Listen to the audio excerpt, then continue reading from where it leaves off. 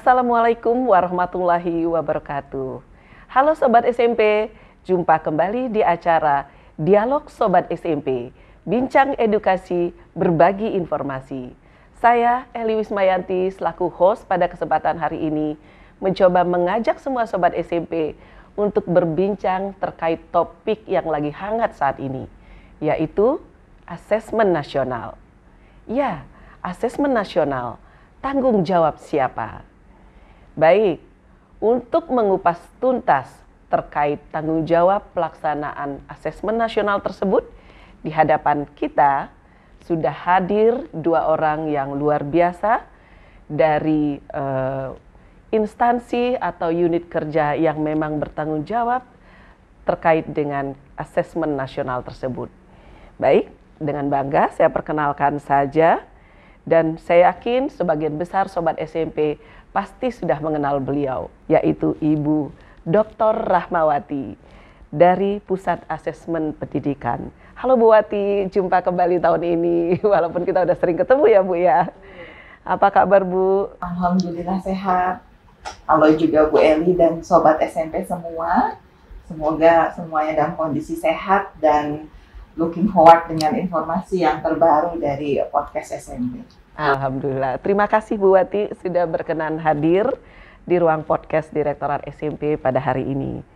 Dan narasumber kita yang kedua ada Bapak Nur Muhammaditya Priyatmaja Husnanto Esos MSI juga dari Pusat Asesmen Nasional. Uh, saya biasanya dipanggil uh, Mas Didit Bu kalau di oh. Pusat Asesmen Pendidikan. Oke, okay. panggil yeah. sayangnya Mas Didit ya. Iya, Ibu Eli. Oke, okay. terima kasih.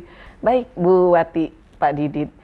Kita sebagaimana kita ketahui bahwa kita baru saja menyelesaikan putaran pertama dan mungkin juga susulan kemarin uh, untuk asesmen uh, Sulingjar ya, survei lingkungan belajar bagi para pendidik dan tenaga kependidikan. Dalam hal ini kepala sekolah dan juga uh, para guru. Kemudian uh, kemarin baru saja selesai untuk asesmen nasional jenjang SMA, SMK, paket C dan sederajat. Dan hari ini sepertinya ada susulan lagi untuk jenjang SMA. Nah, sebelum kita bicara lebih jauh, saya ingin uh, informasi, masa, eh, mungkin rekan-rekan sobat SMP juga ingin tahu. Pertama terkait Sulingjar dulu. Kira-kira bagaimana partisipasi para tendik kita terkait survei lingkungan belajar ini? Mungkin dari Mas Didit dulu barangkali. Baik, eh, terima kasih eh, Bu Eli. Ya, eh, Sobat SMP, memang kalau kita lihat dari partisipasi survei lingkungan belajar, baik dari eh, satuan pendidikan, kemudian eh, kepala sekolah dan pendidik, ini mengalami peningkatan yang cukup eh, apa drastis ya dibandingkan dengan eh, tahun lalu. Nah ini e, memang upaya-upaya kita di pusat e, melakukan koordinasi dengan e, direktorat terkait, kemudian dengan e, pusat e, data informasi yang kemudian kita lakukan e, semacam pengecekan ya setiap minggunya untuk e, mengetahui e, apa tingkatan partisipasi di masing-masing daerah. Ya, jadi eh, sepertinya memang karena eh, survei lingkungan belajar ini juga semakin banyak dipahami eh, fungsinya, yang kemudian dari eh, kepala sekolah dan pendidik itu eh, mempunyai motivasi ya untuk melengkapi ini. Karena memang target eh, di tahun ini eh, dari kementerian adalah pengisian 100% ya jadi semua kepala sekolah dan uh, pendidik uh, diharapkan uh, dapat mengisi 100% untuk uh, survei lingkungan belajar. Kalau dari data uh, kita lihat bahwa dari jenjang uh, SMP, kemudian uh, SMA dan SD sederajat itu di atas 90%. Nah, ini prestasi yang luar biasa uh, uh, pengisian Sulinjar di tahun ini. Begitu Bu Eli. Baik. Berarti kalau dibandingkan dengan tahun lalu ini ada peningkatan yang baik ya Pak? Ya, betul Bu. Uh, jadi kalau dibandingkan tahun lalu, memang kalau kita lihat uh, pengisian survei lingkungan belajar itu bersamaan dengan pelaksanaan uh, asesmen nasional untuk siswa. Jadi peserta didik mengisi, kemudian uh, guru dan kepala sekolah mengisi pada waktu yang bersamaan. Nah ini sepertinya yang uh, sudah diantisipasi, dievaluasi di tahun ini, di mana kita memisahkan jadwal untuk pengisian uh, survei lingkungan belajar satu bulan penuh di bulan Agustus dan uh, betul harapannya memang kita punya waktu lagi untuk melakukan pengisian selanjutnya. Nah ini adalah upaya-upaya kita di pusat untuk bisa uh, mencapai pengisian 100% Bu Eli. Baik, terima kasih. Uh, saya panggil karena masih kayaknya lebih senior saya usianya ya. Saya panggil Mas aja ya, lebih, Siap, ya. biar lebih akrab kata sahabat SMP. ya, ya, terima kasih Mas Didi. Baik. Ya, Bu Wati, kalau tadi uh, Mas Didi sudah menyampaikan uh, ada peningkatan yang positif dibandingkan uh, partisipan Sulingjar tahun 2021. Tetapi sebagaimana kita ketahui bahwa Sulingjar ini kan diikuti oleh semua guru dan kepala sekolah harapannya dari semua satuan pendidikan, di mana kita melakukan asesmen sejak 2021 yang melibatkan tendik. Biasanya kita selalu assess itu kan adalah siswa ya Bu ya. Semuanya siswa, ukurannya indikatornya dari siswa. Kali ini yang kita sasar adalah tendik. Sekarang pertanyaannya, seberapa signifikan sih eh, pengaruhnya terhadap kualitas data mutu pendidikan kita antara sumber informan yang dari siswa saja dengan uh, melibatkan informan dari kepala sekolah dan para guru. Silakan Bu Ati. Terima kasih Bu Eli. Untuk menjawab ini lebih mudah kalau kita menganalogikan dengan kehidupan sehari-hari ya. Misalnya kalau kita lihat lingkup pendidikan keluarga. Saya punya anak-anak, Bu Eli juga ada anak, eh, Mas Adi juga punya anak. Seringkali kita fokusnya kepada anak itu bisa apa. Anak itu ranking berapa? Anak itu karakternya bagaimana? Tapi kita lupa bahwa anak itu adalah produk dari pendidikan di lingkungannya. Produk dari kondisi rumahnya. Kalau kita bicara tentang pendidikan keluarga. Ini sama dengan sistem pendidikan kita. Sistem pendidikan kita, kita ada sekolah, ada satuan pendidikan di mana di dalamnya ada lingkungan, ada aktor-aktornya juga, ada kepala sekolahnya, ada guru-gurunya, yang sebenarnya anak-anak ini adalah cerminan dari apa yang diupayakan di lingkungan sekolah itu. Ketika kita bertumpu kepada murid, kemudian kita tahu informasinya muridnya belum bisa ini, karakternya belum begini, belum begitu, akan sulit untuk menangani, mengatasi, melakukan perbaikan kalau kita tidak tahu why-nya. Kenapa? Ada apa di lingkungan sekolahnya? Jadi harapannya asesmen nasional dengan tidak hanya mengukur murid, tapi juga kepala sekolahnya, guru-gurunya, kita tahu seperti apa outputnya, tapi kita juga tahu bagaimana proses serta inputnya. Jadi bisa di tracking gitu ya oh yang di sini ternyata bagus-bagus, padahal kondisi sarana prasarannya biasa-biasa saja, guru-gurunya ternyata berinovasi, mau belajar dari pembelajaran. Kepala sekolahnya punya visi misi, sehingga kita bisa membuat uh, suatu kebijakan bahwa untuk mengatasi kondisi sarana prasarana yang tidak memadai, masih bisa loh anak-anaknya berprestasi. Caranya bagaimana? Ini dari kesadaran visi misi sekolah, kesadaran guru untuk mau merefleksi, berinovasi. Jadi harapannya kita memiliki data yang holistik, tidak hanya memotret siswanya, kemudian membuat judgement berdasarkan hasil siswanya, tapi kita juga mengetahui apa yang terjadi dengan lingkungan sekolahnya baik itu dari pengakuan guru, kepala sekolah, maupun dari data-data lain yang dikumpulkan di level satuan pendidikan. Baik, kembali kalau kita bicara asesmen nasional, kemudian Sulingjar, karena di asesmen nasional ini kan ada AKM untuk siswa, survei karakter dan survei lingkungan belajar untuk peserta didik. Sementara untuk tendiknya ini hanya survei lingkungan belajar saja. Seperti itu. Nah, uh, saya jadi tergelitik ini Ibu, pengen tahu. Kalau siswa itu kan uh, kembali lagi, survei lingkungan belajar itu adalah lingkungan yang akan memberikan kontribusi terhadap kualitas iklim belajar di satuan pendidikan.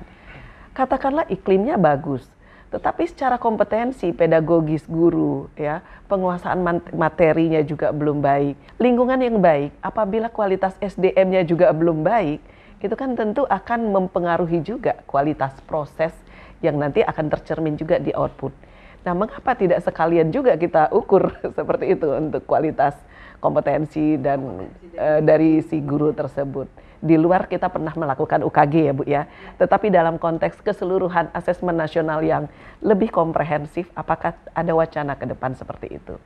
Ada wacana tapi tidak melalui asesmen nasional. Untuk mengukur kompetensi guru sifatnya pemetaan. Karena memang kita meyakini kita memerlukan peta mengenai kompetensi, tidak hanya kompetensi dari segi profesinya, tapi kompetensi pedagogik dan kompetensi dari kepribadiannya juga dan itu uh, memang terakhir kita melakukan UKG yang sensus kan sudah cukup lama ya, jadi butuh pemutakhiran data. Tapi saat ini itu tidak digali melalui asesmen nasional. Ada program lain untuk mengukur kompetensi guru, sehingga nanti kita punya peta yang komprehensif, bukan untuk menjudgment guru, tapi sebenarnya untuk lebih memfasilitasi guru kemampuannya sudah sampai di mana, kalau membutuhkan pelatihan, membutuhkan uh, collaborative learning, pada bagian apa guru-guru ini bisa melengkapi.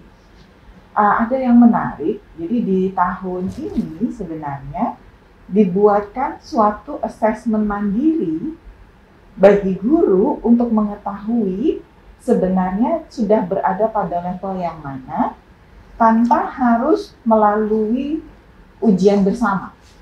Jadi ada aplikasi, ada soal-soalnya, kemudian guru-guru bisa menjawab sendiri kapan saja self-assess, kemudian dari hasil misi tersebut keluarlah hasil sudah berada pada level yang mana. Moga-moga ini cepat terwujud sehingga uh, kalau kita mengatakan tentang uji kompetensi guru tidak harus yang dilakukan bersama, terpusat oleh pemerintah, tapi lebih sebagai kesadaran setiap guru untuk mengetahui saya sudah berada pada level yang mana, saya butuh apa, saya sudah bisa apa, saya bisa sharing kemampuan saya yang bagaimana kepada rekan-rekan guru yang lain. Oh, tapi itu belum ya Bu ya, belum dilakukan. Sudah pada tahap penyusunan soal, aplikasi, ya ini tadi masalah nanti untuk deploymentnya ya. Baik, saya kembali ke Mas Didit sekarang. Tadi eh, kita sudah menyinggung masalah sulingjar begitu pentingnya data sulingjar ini untuk melengkapi dalam konteks triangulasi data agar kita mendapatkan gambaran yang komprehensif. Sempat ngintip itu di dashboard sulingjar ya. Sepertinya memang ada beberapa daerah ataupun satuan pendidikan yang tingkat partisipasinya masih belum menggembirakan. Dan juga ada beberapa yang data anomali ya mungkin kita tidak usah detailkan anomalinya ya barangkali. Nah dalam konteks keutuhan atau uh, ke kecukupan data untuk melengkapi selain data dari peserta didik melalui asesmen nasional dan juga data uh, sulingjar dari guru, bagaimana bagaimana nanti uh, atau upaya apa yang sudah dilakukan oleh uh, pemerintah Kemendikbudristek melalui Pusmendik untuk mendorong partisipasi tersebut? Ya, Baik Bu, uh, jadi untuk upaya-upaya yang sudah kita lakukan, memang uh, kita sudah lakukan koordinasi. Jadi yang pertama memang karena ini kaitannya ada di satuan pendidikan, jadi kita melakukan koordinasi dengan direktorat terkait, termasuk juga di SMP ya. Uh, terima kasih. Ini sudah dilakukan ada semacam rapat koordinasi di masing-masing daerah, terutama memang untuk daerah yang lokasinya uh, Eh, jauh ya, tidak ada internet, kemudian infrastrukturnya kurang dan sebagainya. Itu uh, sudah dilakukan rapat koordinasi dan itu cukup uh, mengembirakan karena pada saat rapat tersebut ada praktek-praktek baik yang muncul Bu yang kemudian mungkin nanti bisa diupayakan karena kita masih ada e, waktu pengisian kembali di mana akan dibuka untuk semua jenjang yang harapannya adalah praktek-praktek baik tersebut bisa dilakukan. Ini salah satunya misalkan ada daerah yang e, dia blank spot misalnya Ya kita tahu memang uh, survei lingkungan belajar ini uh, full menggunakan online. Jadi ini bisa mungkin uh, mencari ke daerah-daerah lain atau ke satuan pendidikan lain yang mungkin uh, sinyalnya bagus dan sebagainya. Kemudian dia bisa mengisi di situ. Ini salah satu praktek yang ada. Kemudian praktek baik yang lain adalah uh, dukungan dari uh, pemerintah daerah di mana eh, bahwa ujung dari data instrumen yang kita kumpulkan adalah nanti ke rapot pendidikan. Jadi daerah-daerah mengupayakan dalam bentuk dukungan anggaran, kemudian dukungan eh, apa tenaga dan sebagainya untuk bisa secara optimal melakukan pengisian. Dari rapat koordinasi kemarin yang sudah dilakukan, eh, banyak sekali daerah-daerah yang menanyakan kapan sih akan dibuka kembali uh, survei lingkungan belajar. Jadi ini uh, uh, indikator bahwa di daerah itu uh, juga berupaya untuk melakukan pengisian uh, seoptimal mungkin meskipun memang ada daerah-daerah yang uh, cukup susah ya dijangkau dari segi infrastruktur kemudian mungkin ada listrik dan sebagainya nah itu memang uh, masih ada yang seperti itu nah begitu juga dengan uh, untuk AKM ya, AKM dan uh, survei lingkungan belajar untuk ya, siswa. Mungkin disimpan dulu yang AKM. Oke okay, baik. Kita ngomong baik, Sulingjar dulu ya. Sulingjar dulu. Iya. ya, baik. Uh, saya lanjutkan terkait dengan Sulingjar. Itu kan Sulingjar atau survei lingkungan belajar itu kan memang uh, full online ya. Betul bu. Nah kita tahu Indonesia ini dari Sabang sampai Merauke ribuan pulau dengan bentangan laut yang sangat luas. nah kira-kira ada nggak alternatif mungkin untuk tahun yang akan datang seperti itu. Opsi lain kalau AKM itu ada online dan semi online, dimungkin nggak nggak uh, untuk suling jarnya ini dilakukan juga dengan semi online ataupun mungkin stand alone seperti itu. Iya, yeah. Yeah. Jadi memang eh, masukan-masukan uh, ini kita tangkap ya bu. Uh, kebijakan yang sekarang ini memang masih uh, menggunakan full online dan ini kita tangkap dan pastinya ini akan kita sampaikan di rapat-rapat koordinasi berikutnya. Barangkali ke depan ada kebijakan pengisian lain ya selain moda online. Ya, dan uh, kita juga memang uh, mendengarkan ya artinya uh, untuk daerah-daerah yang mungkin susah kalau misalkan di uh, AN kan masih ada beberapa opsi-opsi pilihan ya. Sementara memang untuk Sulinjar ini uh, baru ada satu ya full online. Nah itu mungkin barangkali eh, sudah kita tangkap dan nanti mungkin kita bisa diskusikan kembali Bu eh, untuk kebijakan ke depan. Baik. Begitu Bu. Terima kasih Mas Didit. Nah sebelum kita fokus ke AKM, eh, ke AN, saya masih ngomong sulingjar satu lagi nih, saya tanya ke Bu Wati. Ini kemarin ada pertanyaan dari Sobat SMP nih Bu Wati. Kalau pelaksanaan asesmen nasional peserta didik itu kan sampling, ya harapan kita 100% peserta didik yang tersampling, 30 siswa untuk jenjang SD, 45 siswa untuk jenjang SMP, SMA sederajat. Nah, minimal 85% itu data bisa kita olah dan kita sajikan. Nah, kemarin Sobat SMP bertanya, kenapa untuk tendiknya juga nggak sampling, Bu? Kenapa harus 100% tendiknya ini? Apakah tidak bisa juga misal minimal 85% dari tendiknya seperti itu? Ah, kira-kira bagaimana alasannya, Bu? Jadi pertama, mengapa siswanya sampling dulu mungkin yeah. ya, sebelum kenapa endingnya tidak sampling. Kenapa siswanya sampling? Karena ketika siswanya tidak sampling berupa sensus, dikhawatirkan penggunaan hasilnya ini bukan lagi sebagai rapor dari satuan pendidikan, tapi menjadi rapor hasil belajar murid. Iya. Misalnya nanti dipakai untuk seleksi masuk jenjang SMA, atau digunakan untuk hal-hal lain yang implikasinya adalah implikasi individu murid. Itu hal yang dihindari pada asesmen nasional karena asesmen nasional ini memang fungsinya bukan untuk evaluasi hasil belajar tapi evaluasi has, uh, sistem pendidikan. Itu mengapa muridnya sampling. Sekarang pertanyaannya, kenapa guru dan kepala sekolahnya tidak sampling sekalian? Sampling bisa, karena kita ketika kita memotret tentang uh, satuan pendidikan tidak harus seluruhnya mengikuti tapi kemudian kita punya skema yang berbeda skema yang berbeda itu adalah tidak hanya kita menginginkan punya data yang berkualitas tapi kita juga ingin menjadikan ajang survei lingkungan belajar ini sebagai ajang formatif. Formatif itu seperti apa? Formatif itu artinya ketika mengisi survei lingkungan belajar, guru-guru memahami sebenarnya apa sih yang disebut dengan lingkungan belajar yang baik. Kami ada indikator tentang kualitas pembelajaran numerasi kalau di awang-awang namanya kualitas pembelajaran numerasi mungkin guru-guru susah untuk memahami. Tapi ketika mengisi survei lingkungan belajar, di situ ada pertanyaan-pertanyaan terkait implementasi pembelajaran numerasi.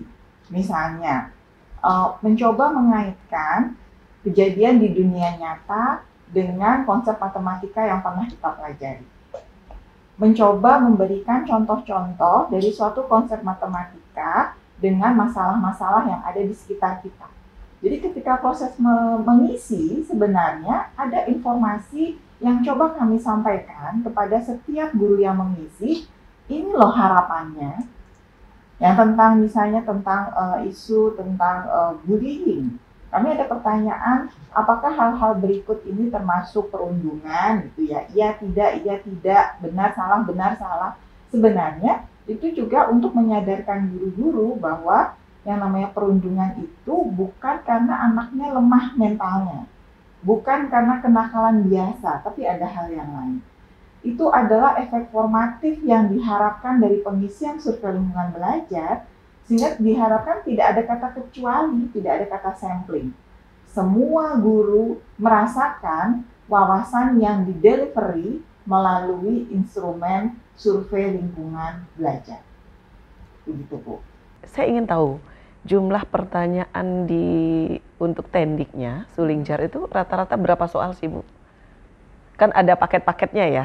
Uh, kepala sekolah kalau tidak salah ada dua paket, paket AB, untuk guru ada tiga paket, paket ABC. Nah, apakah jumlah soalnya sama semua atau ada yang berbeda dan dengan peserta didik sendiri bagaimana? Apakah sama juga? Jadi sebenarnya kalau seluruh pertanyaan yang disusun untuk mengisi rapor pendidikan dimensi D dan E ini dituangkan, itu ada sekitar 400 soal. Dan itu banyak sekali. 400 pertanyaan ya, artinya satu soal itu kan bisa jadi ada pernyataan um, berikut ini apakah Anda mengalami, kemudian ada A, B, C, D, E, nah itu A, B, C, D itu kita hitung sebagai satu soal.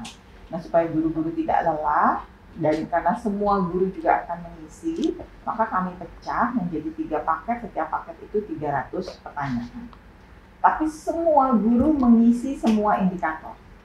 Jadi misalnya satu indikator itu ada 10 soal, saya mengerjakan di paket A itu 6, nanti di paket B juga ada 6, paket C juga ada 6, tapi semua indikator akan go through semua guru mengisi. Ini berbeda skemanya dengan murid. Murid ini keterbatasan membaca, dan keterbatasan waktu itu membuat kami memutuskan jumlah paketnya lebih banyak, ada enam paket untuk murid, tapi tidak semua indikator dilalui. Jadi misalnya total itu ada 50 indikator, mungkin saya hanya menempuh 35 indikator. Nanti murid yang lain 35 indikator lainnya. Jadi jumlah soalnya lebih mudah, hanya bisa dilaporkan kalau semua indikator ini punya responden. Itulah mengapa muncul cut off 85%. Betul khawatirnya di bawah 85% ternyata ada satu indikator yang dijawab oleh satu siswa dan kita sulit untuk menyimpulkan ada apa dengan sekolah itu hanya berdasarkan jawaban satu orang siswa.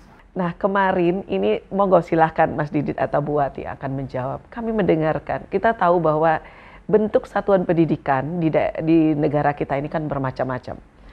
Dari bentuk eh, sekolahnya saja ada sekolah formal, ada non formal ada sekolah keagamaan. Kemudian penyelenggaraan pendidikannya ada yang reguler, ada yang boarding school, ada yang satu atap, ada yang berasrama. Di mana tendiknya baik kepala sekolah maupun guru ini kan ada yang merangkap gitu. Nah ada nggak upaya untuk mungkin tidak tahun ini mungkin tahun depan barangkali ada indikator kita menentukan indikatornya eh, tetap memberikan gambaran berdasarkan potret lingkungan belajar dari masing-masing satuan pendidikan. Tapi misalnya ada indikator yang bersifat generik, ada yang bersifat spesifik. Yang bergener yang generik misalnya uh, mungkin terkait bagaimana pembelajaran yang menguatkan literasi numerasi ataupun uh, apa namanya kebijakan terkait dengan uh, bullying ke keamanan sekolah mungkin itu bisa ini salah satu contoh saja. Misalnya bisa ditarik menjadi indikator yang generik karena sekolah ini kan berada dalam lingkungan yang sama. Tetapi begitu kita bicara kompetensi bagaimana yang terkait dengan indikator yang terkait karakteristik peserta didik tentu tidak bisa kita generate kan seperti itu. Apakah dimungkinkan seperti itu atau kalau mewakili salah satu sepertinya tidak mungkin ya karena uh, satuan pendidikan dan peserta didik yang dihadapi kan berbeda. Nah, kira-kira bagaimana? Monggo Bu Wati atau Pak Didi, Mas Didit yang menjawab. Bu Wati. Monggo silakan. sebenarnya kami melakukan cukup banyak perubahan pada instrumen Kepala Satuan Pendidikan di tahun 2022 dibandingkan 2021 untuk memastikan memang harus diisi untuk setiap NPSN. Kalau status yang dia uh, jadi kepala sekolah satu yayasan ada SD, SMP, SMA satu lingkungan, mungkin tidak menjadi isu ketika ada yang mau di-generate. Tapi kalau dia kepala sekolah di satu sekolah dan PLT di sekolah lain yang berbeda kabupaten bahkan mungkinnya berbeda kecamatan, yang satu sekolah favorit jadi perbantukan menjadi PLT di sekolah yang biasa, tentunya kan e, rawan untuk kita kemudian mengasumsikan ini bisa di-generate. Jadi yang bisa di-generate itu adalah background, itu saja background maksudnya? Kepala sekolahnya laki-laki perempuan kan nggak mungkin dia oh. ganti sekolah terus ganti jenis kelamin ya bu. Jadi itu sekali. Uh, ah, okay. dan itu kita ambilkan langsung datanya dari Dapodi. Tapi yang kami susun di dalam survei lingkungan belajar terutama di tahun 2022 itu memang menyikapi keluhan-keluhan di tahun 2021 ini kok ada yang sama saya lintas sekolah mana pun kalau saya ditugaskan pasti jawabannya sama itu yang kami coba uh, revisi sehingga tahun 2022 ini memang uh, relevan untuk dijawab berkali-kali tergantung dia sedang membicarakan sekolah dengan NPSN yang mana. Baik, terima kasih Bu Wati. Mudah-mudahan uh, Sobat SMP bisa memahami ya mengapa kebijakannya seperti itu. Ini Bu Eli. Ya. Kalau ngisi survei lingkungan belajarnya aja repot, Padahal yang jauh lebih repot kan ketika menjalankan tugas sekaligus di banyak sekolah ya. Betul. Dan ternyata bisa gitu. Jadi kenapa untuk mengisi survei lingkungan belajarnya nggak bisa? Nah, ini dia Bu. Bu Wati sudah memantik nih dengan untuk pertanyaan berikutnya. Kemarin ya Mas Didit, uh, kalau hasil intipan kita kemarin, ternyata banyak juga responden itu tidak selesai dia mengerjakan soal Padahal rentang waktu tadi yang disampaikan sudah cukup betul. panjang ya 10 yeah, hari. Betul. Saya pikir sesuatu kalau dicicil kan bisa cepat selesai ya Pak ya. Betul, Hutang betul. aja kalau dicicil kan lunas ya. Tapi kalau didiamin makin numpuk gitu. Iya. Akhirnya yeah. keburu habis batas waktunya. ya. Ya, Bagaimana? Me uh, memang kalau kita lihat di lapangan, Bu Eli, uh, banyak uh, guru dan kepala sekolah itu di akhir-akhir ya. Jadi menjelang deadline tuh baru kemudian, oh ya ternyata saya belum mengisi.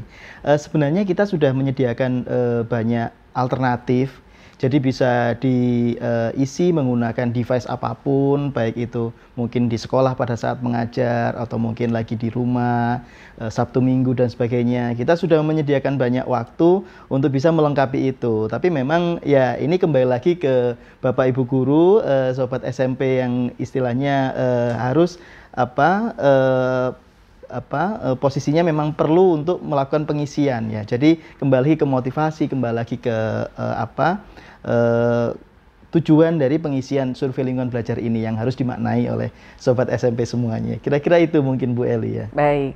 Nah, terus uh, ini Mas Didit, bagaimana kalau seandainya di responden Sulingjar ini terjari, terjaring tendiknya yang sudah mungkin sudah mutasi atau sudah purna atau sudah pensiun, itu bagaimana ya supaya nanti sekolah ini bisa menjadi 100% partisipasinya? Betul. Uh, jadi uh, upaya yang kita lakukan adalah uh, kita akan lakukan flagging atau marking di uh, aplikasi survei lingkungan belajar di mana guru-guru yang statusnya mungkin uh, sudah berpindah atau mungkin pensiun kemudian mungkin uh, posisinya ada di dua sekolah misalnya, data ganda dan sebagainya, itu tinggal mengkonfirmasi di uh, laman uh, Sulinjar, di mana itu nanti akan ada semacam uh, hitung ulang terhadap status uh, partisipasi. Nah ini salah satu upaya kita juga untuk bisa uh, menyajikan data yang yang valid ya. Baik. Begitu Bu Eli. Ya, jadi ada semacam uh, kolom konfirmasi barangkali ya, Betul. mengapa yang jumlahnya tercatat misalnya ada 10 guru, tapi yang existing yang masih ada ini sebenarnya tinggal 8, yang dua mungkin sudah yeah. mutasi, yang yang atau sudah mutasi, ada yang sudah pensiun, mungkin bisa mengisi di sana ya. Betul, untuk, betul. Uh, supaya bisa di-exclude ya nanti ya. Yeah. Sobat SMP yang berasal dari Tendik, kepala sekolah jangan khawatir, kemarin banyak pertanyaan, Bu kami sudah mengisi semua, kenapa data sekolah kami belum 100%? Nah, tolong nanti kalau masih ada nama tendik yang tertulis di sana, nggak usah diisi. Tadi yang dimaksud uh, Mas Didit, nanti mungkin operatornya barangkali ya Mas Didit Betul. ya, mengisikan Mengisi. di sana, menjelaskan di sana bahwa yang bersangkutan statusnya sekarang sebagai apa, apakah sudah purna atau mutasi atau sudah eh, dan lain sebagainya, supaya nanti sekolah Bapak Ibu bisa 100% partisipasinya dan juga daerah Bapak Ibu nih yang di dinas harus aware juga nih dengan data ya. Mari sama-sama kita kawal eh, tingkatkan partisipasi supaya nanti eh, kecukupan dan kualitas datanya juga eh, terjamin betul-betul sesuai dengan yang kita harapkan. Eh, tahun lalu kita sudah melaksanakan AN pertama di tahun 2021. Hasilnya ditambah dengan sumber data yang lain dari Dapodik, Susenas, data BPS dan lain sebagainya disajikanlah data profil pendidikan pada platform rapor pendidikan. Nah, di situ ketemu raportnya merah, kuning, hijau, biru. nah, apa namanya? Um, kemarin kita ketahui bahwa sebagian daerah dan satuan pendidikan lumayan surprise. Ternyata asesmen nasional yang diikuti turut mewarnai output dan proses terutama misalnya di sisi kompetensi literasi, capaian kompetensi literasi, numerasi, karakter, lingkungan belajar, manajemen kelas dan lain sebagainya. Juga termasuk pengelolaan. Nah, tahun ini kita melaksanakan yang kedua yang hasilnya nanti akan memberikan profil pendidikan yang terupdate dan raport pendidikan yang menggambarkan delta 2022 dengan 2021. Kalau di awal semangat kita bahwa asesmen nasional ini lower stakes. Berbeda dengan UN. UN karena di situ ada apalagi di awal-awal dulu penentu kelulusan. Kemudian menjadi prasyarat untuk lulus. Jadi lower eh, high stakes ya. Nah, AN ini tidak ada dampak apa pun. Artinya tidak mempengaruhi kelulusan. Tetapi dengan eh, ini ini pernyataan eh, dari audiens kita baik itu stakeholder di dinas pendidikan maupun dari unsur satuan pendidikan Nah, dengan sajian yang demikian baik, tetapi pada akhirnya mereka merasakan, waduh lumayan ya, kalau rapotnya jelek dari hasil ini, rapot eh, kalau hasil AN-nya jelek, rapot kita bisa jelek juga gitu. Akhirnya secara tidak langsung menjadi high stakes buat mereka.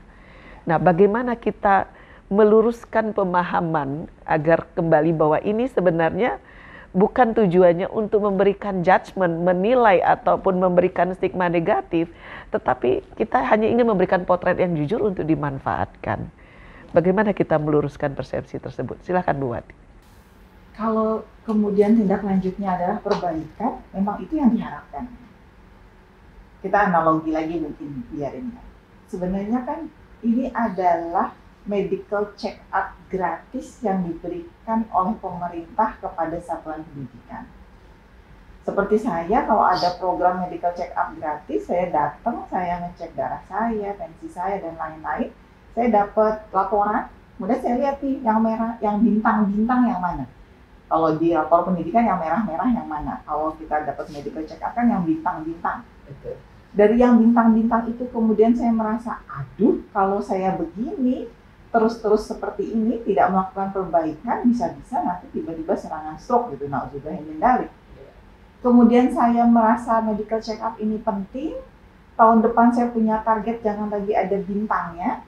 Kemudian upaya saya adalah saya olahraga, saya kontrol asupan makan, menjaga istirahat, minum air putihnya juga baik, itu kan memang yang diharapkan.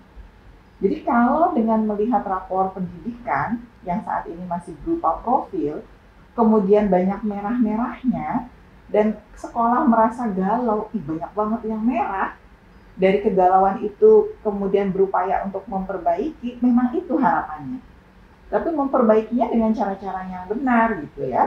Jangan dengan cara-cara misalnya, oh ternyata pertanyaan kemarin yang sifatnya pertanyaan uh, selalu jarang tidak pernah itu ujung-ujungnya ke sini. Kalau ujung-ujungnya ke sini ya udah biar nggak merah lagi kita jawabnya jangan jarang ya jawabnya selalu ya nah itu kan cara-cara tidak benar tapi kalau cara-cara yang benar dengan memperbaiki dan punya target semangat tahun depan jangan merah lagi itu memang yang diharapkan. Jadi bukan tentang punishmentnya atau rewardnya, tapi tentang menyadari bahwa ini penting untuk diri saya sendiri. Seperti kita menyikapi medical check up lah. Kalau misalnya mau bohong-bohongan kan, oh ternyata ini ada jamu yang kalau diminum malam hari sebelum besok pagi cek darah nanti bisa bagus semua bisa juga kan begitu. Tapi kan kita tahu itu cuma cara shortcut gitu ya. Betul. Ya menarik sekali uh, analogi yang Bu Wati sampaikan tadi. Jadi kalau kita kembali ke analogi tadi seba kita menganggap sebagai instrumen AN dan sulingjar ini sebagai instrumen medical check up nah tentu si tenaga medis yang melakukan general check up-nya ini tentu harus orang yang tepat alat yang digunakan ini uh, harus tepat supaya bisa menyajikan hasil yang tepat. Artinya si tenaga medisnya ini atau para mediknya bertanggung jawab terhadap ketepatan, ketepatan alat ukurnya, ketepatan SOP-nya, semua semuanya. Mas Didit itu. Nah sebaliknya si responden juga atau pasiennya bertanggung jawab juga untuk mengetahui mendeteksi dini kesehatannya. Saya ini punya gejala apa? Kok belakangan sering sakit kepala gitu ya? Mengapa? General check up rasanya tensinya normal-normal aja. Oh, ternyata karena faktor yang lain. Artinya si pasien juga punya tanggung jawab. Ya pasiennya kita ini adalah uh, satuan pendidikan uh, dan peserta di, uh, di mana situ ada tendik dan peserta didik. Nah, bagaimana menurut Pak Dokter yeah. Edi? betul betul Bu, memang uh, Ya kita harus ada standar ya Bu dalam konteks melaksanakan AN ini baik itu dari sisi Sulinjar, AKM maupun survei karakter. Nah ini semuanya sudah tertuang di pos AN yang memang kita upayakan kita mendengarkan masukan-masukan dari evaluasi tahun 2021.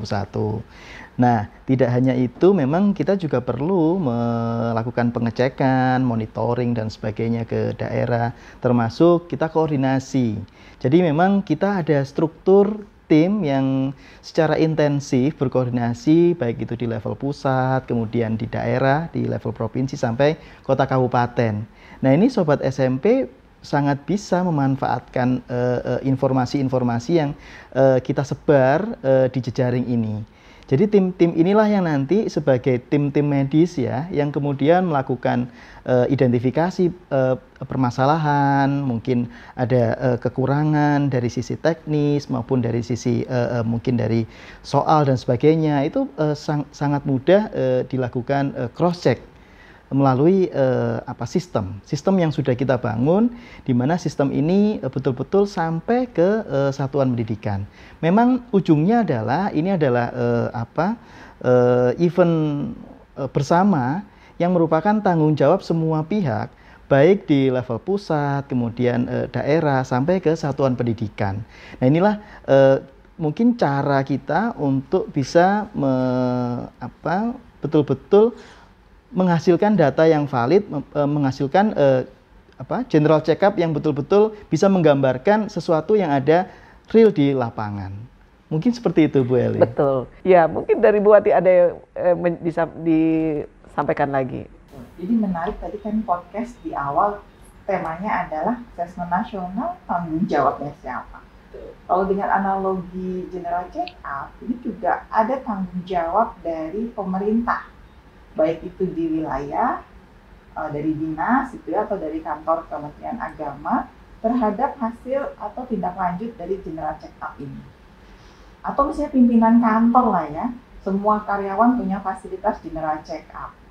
Udah tahu hasilnya kolesterolnya tinggi-tinggi, kalau dibiarkan tiap kali makan siang nasi boxnya nasi padang itu kan kayaknya nggak aware dikasih makanannya gorengan atau bolu-bolu kan namanya nggak aware tapi kalau misalnya ada kebijakan sekarang kita kalau snack rebus-rebusan ya snacknya buah ya itu kan artinya menyikapi hasil dari medical check up begitu juga kalau misalnya ada yang tidak mau ikut medical check up kemudian kan diupayakan.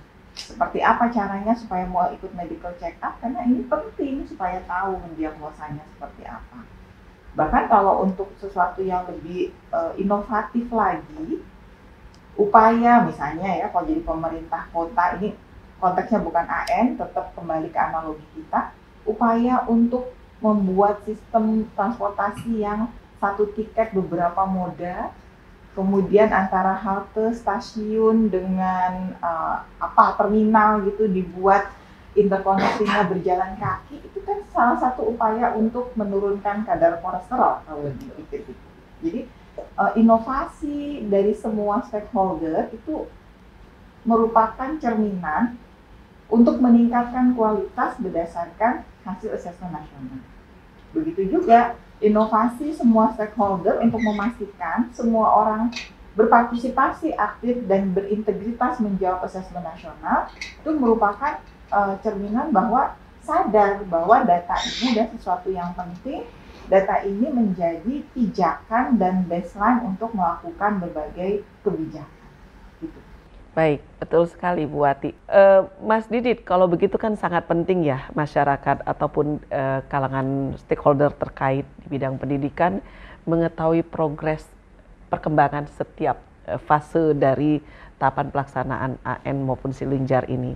Paling tidak kita masih cukup waktu untuk memaksimalkan partisipasi pasien-pasien kita, yaitu semua satuan pendidikan, peserta didik maupun tendik untuk ikut general check up gitu seperti itu. Kira-kira selain apa yang tadi sudah disampaikan, ada nggak strategi lain atau bentuk-bentuk campaign yang lain kita untuk mendorong yeah. tingkat partisipasi yeah. Iya. uh, pasien kita yang pasien dalam tanda kutip ya, iya, Ibu. pasien pendidikan, silakan. Betul. Uh, jadi uh, kita juga ada kanal-kanal uh, resmi di web yang itu sangat mudah diakses oleh siapa saja. Di kanal tersebut kita sediakan uh, masing-masing kanalnya apa? Kanalnya uh, AN ya Bu. Jadi pusmendik.kemdikbud.go.id/an. Oke. Okay. Ya, di kanal itu sudah tersedia baik itu mulai informasi tentang AKM, kemudian informasi tentang Sulinjar dan survei karakter. Di masing-masing menu tentang uh, informasi instrumen tersebut itu uh, bahkan kita juga sediakan link untuk misalkan ada ayo coba AKM. Jadi ini adalah uh, link di mana uh, semua uh, masyarakat tuh bisa mencoba seperti apa sih uh, simulasi dalam mengerjakan soal-soal AKM itu. Nah, dari situ kemudian uh, kita juga sediakan uh, informasi tentang framework dan sebagainya di mana uh, nanti bisa terbayang ini outputnya, indikatornya itu seperti apa sih. Kemudian uh, harapan dari melakukan pengisian itu seperti apa kita sediakan eh, bahkan termasuk juga dengan jadwal. Jadi jadwal tahapan, kapan harus melakukan sinkronisasi, kapan kemudian harus melakukan eh, simulasi gladi bersih, itu sudah ada semua di kanal web kita. Nah, nanti ini eh, kita juga akan coba lengkapi mungkin barangkali ke depan kita perlu integrasikan dengan eh, informasi untuk survei lingkungan belajar. Begitu barangkali Bu Eli. Baik, terima kasih Mas Didit. Jadi Sobat SMP jangan lupa mengakses kanal pusmendik.kemdikbud.go.id AN. Jadi itu berbagai informasi terkait AN yang bisa diakses oleh publik untuk mendapatkan apa, mengapa, dan bagaimana asesmen nasional. Bahkan bisa uji coba di sana untuk uh, mempersiapkan khususnya untuk sobat SMP di jenjang SMP dan juga SD yang akan uh, baru akan mengikuti di tahapan berikutnya. Mungkin uh, closing statement terkait dengan topik kita hari ini terkait dengan asesmen nasional yang menjadi tanggung jawab siapa. Mungkin closing statement pertama saya persilahkan dari Bu Wati. Ya, terima kasih Bu Eli. Jadi kalau kita bicara tentang asesmen nasional tanggung jawab siapa, harapan kami ini adalah disadari secara sadar gitu ya bahwa ini adalah tanggung jawab kita semua. Kami sebagai penyelenggara asesmen nasional bertanggung jawab bahwa alat ukurnya benar, cara mengukurnya benar, penyajian data dan informasinya benar, eh, mudah mengakses, kemudian juga mudah untuk dimaknai. Tapi Bapak Ibu sekalian, sobat SMP sebagai bagian dari yang memerlukan hasil diagnosa dan informasi ini juga memiliki tanggung jawab untuk berpartisipasi, untuk berintegritas. Dan terlebih lagi kalau sudah berpartisipasi dengan berintegritas, sudah dapat hasil ya seharusnya dimanfaatkan untuk perencanaan, untuk perbaikan, untuk menyusun program-program yang memang diperlukan oleh setiap satuan pendidikan masing-masing. Pemerintah, baik itu pusat maupun daerah, sebagai pengambil kebijakan maupun sebagai implementasi kebijakan juga memiliki kewajiban. Kewajiban untuk memastikan informasi yang terkumpul melalui partisipasi aktif dari setiap satuan pendidikan kerja keras maupun um, upaya baik itu upaya dana, upaya uh, pikiran, tenaga ini dimanfaatkan semaksimal mungkin, seoptimal mungkin untuk membuat kebijakan yang memang sesuai dengan peruntukannya. Jadi istilahnya sekarang tuh kebijakan asimetris itu ya. Nggak cuma satu kebijakan dipaksakan untuk semua kondisi sekolah tapi menyesuaikan dengan kondisi sekolah masing-masing, dibuatkan intervensi maupun kebijakan yang sesuai. Jadi terdiferensiasi sesuai dengan hasil dari asesmen nasional. Ketika semua pihak merasa bertanggung jawab secara sadar, secara mandiri, harapannya maka peningkatan kualitas pendidikan itu sudah secara natural memang tumbuh dan berkembang di masyarakat tidak harus dipaksakan, tidak harus diawasi, tidak harus ditongkrongin. Jadi semuanya merasa berkepentingan untuk meningkatkan kualitas pembelajaran di masing-masing ruang kelas kita, di masing-masing sekolah kita, dan di masing-masing wilayah kita. Baik, luar biasa. Dan selanjutnya closing statement barangkali dari Mas Didit. Baik, silakan. Terima kasih Bu. E, menguatkan e, dari Bu Wati mungkin e, karena kita tahu bahwa tadi disampaikan masing-masing pihak mempunyai e, tanggung jawab dan peranan, maka e, perlu ada koordinasi, koordinasi e, yang tersistem, terstruktur, di mana e, kita bisa bersama-sama, secara bersama-sama menguatkan upaya untuk meningkatkan partisipasi dan e, menjaga e, kualitas data.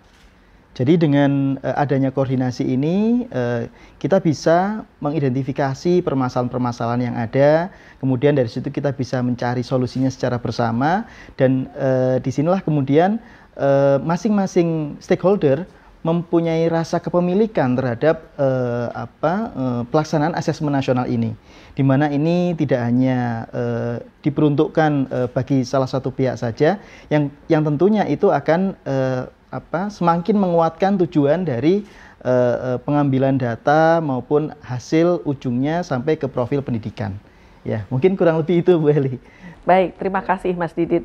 Luar biasa uh, closing statement dari dua narasumber kita jadi kalau boleh saya uh, simpulkan dari terminologi yang luar biasa, saya kutip, eh, saya catat tadi. Pertama, tingkatkan partisipasi. Partisipasi dari semua para pihak yang terlibat, yaitu peserta didik, pendidik, dan tenaga kependidikan dalam mengikuti asesmen nasional dan sulingjar. Kemudian, untuk mengikuti tersebut harus ditegakkan integritas. Kemudian setelah kita berpartisipasi, melaksanakan partisipasi kita dengan penuh tanggung jawab dan integritas, insya Allah kita akan menghasil Bapak Ibu, teman-teman sobat SMP akan menghasilkan sebuah data profil pendidikan yang baik sesuai dengan kondisi yang ada untuk kemudian dimanfaatkan dalam rangka peningkatan mutu. Jadi uh, strategi pengembangan program kegiatan peningkatan mutu di sekolah akan sesuai dengan data yang tersaji di dalam profil pendidikan. Nah, kemudian yang mengawali semua itu agar kita dapat memiliki kesadaran partisipasi yang tinggi, integritas yang baik, hasil yang baik, tentu perlu ada rasa kepemilikan, rasa kesadaran dan kepemilikan tentang pentingnya asesmen nasional, pentingnya berpartisipasi di asesmen nasional tersebut. Kalau ada kendala permasalahan, koordinasi, komunikasi, kanal-kanal koordinasi komunikasi sudah ada. Ada dashboard Sulingjar, ada web ANBK, di mana perwakilan dari semua uh, stakeholder di Dinas Pendidikan Provinsi dan Kabupaten Kota, perwakilan dari satuan pendidikan dapat berkomunikasi melalui kanal-kanal yang ada. Juga ada grup WA ya Mas ya. Nah, itu bisa dimanfaatkan. Misalnya dengan perpanjangan waktu Sulingjar nanti tanggal 19 sampai 28 September ya untuk semua jenjang. Nah, silakan teman-teman sobat SMP yang mengelola pendidikan, satuan pendidikan agar dapat memanfaatkan momentum tersebut untuk meningkatkan partisipasinya. Yang belum 100%, ayo berpartisipasi karena sekali lagi ini adalah tanggung jawab kita bersama untuk menyukseskan AN yang berkualitas. Baik, barangkali itu sekali lagi Sobat SMP mohon koordinasi dapat terus dilakukan dengan kanal yang ada. Tanamkan rasa kepemilikan tanggung jawab dan uh, upaya kita untuk menyukseskan AN 2022 dengan lebih berkualitas, jujur, dan uh, partisipasi syukur-syukur semuanya 100%. Amin. Itu harapan kita. Baik, Sobat SMP, waktu juga yang membatasi kita sudah cukup panjang eh, bincang-bincang edukasi kita dengan dua narasumber kita yang luar biasa, dua-duanya dari Pusmendik dan uh, beliau berdua telah memberikan pencerahan kepada kita bersama terkait apa, mengapa, dan bagaimana serta pentingnya dari asesmen nasional. Semoga dapat memperkaya pemahaman kita atau bagi yang sudah paham untuk mengingat kembali betapa pentingnya kita menyukseskan asesmen nasional. Asesmen nasional tanggung jawab kita bersama. Saya Eli Wismayanti mengucapkan terima kasih kepada Bu Wati dan Mas Didit yang sudah berkenan hadir di podcast Dialog Sobat SMP siang uh, pada hari ini dan kepada Sobat SMP yang menonton jangan lupa like, comment, and subscribe agar kita tetap semangat uh, berbincang-bincang edukasi untuk berbagi informasi dengan semua sobat SMP. Bunga sekuntum mekar di waktu subuh. Terima kasih. Wassalamualaikum warahmatullahi wabarakatuh. Terima kasih sobat SMP.